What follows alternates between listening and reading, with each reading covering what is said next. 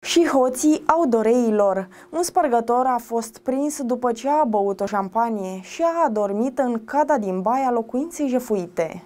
Un bărbat în vârstă de 36 de ani s-a ales cu dosar penal după ce a intrat într-o locuință, a luat câteva din bunurile proprietarilor, le-a băut șampania și apoi s-a culcat în cada din baie, unde a fost găsit câteva ore mai târziu de păgubiții care au sunat la poliție. Incidentul s-a petrecut în Budapesta, au dezvăluit reprezentanții poliției maghiare pe pagina de internet a instituției. Hoțul, un bărbat în vârstă de 36 de ani din Budapesta, a comis spargerea dintr-o casă situată în districtul 20 din capitala Ungariei. El și-a băgat în buzunar un telefon mobil, două lanterne de bicicletă, iar apoi, găsind o șampanie, a deschis-o și a băut-o. În final, bărbatul s-a culcat în cada din baie, unde a și adormit. Întors acasă câteva ore mai târziu, proprietarii casei au observat că locuința le-a fost călcată de hoți, însă au avut surpriza vieții lor când l-au găsit pe spărgător, sfărăind în baie. Ca atare, fără să facă prea mare gălăgie, au sunat la numărul de urgență ca să ceară ajutor. Hoțul a fost trezit în final de polițiști. Aceștia au restituit apoi păgubiților lucrurile furate, iar pe spărgător l-au dus la sediu, unde au întocmit pe numele lui un dosar penal pentru furt. Bărbatul și-a recunoscut fapta și este cercetat în libertate.